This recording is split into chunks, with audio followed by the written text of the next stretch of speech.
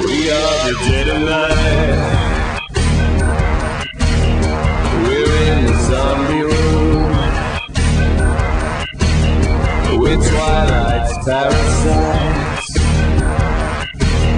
We're self-inflicted wounds.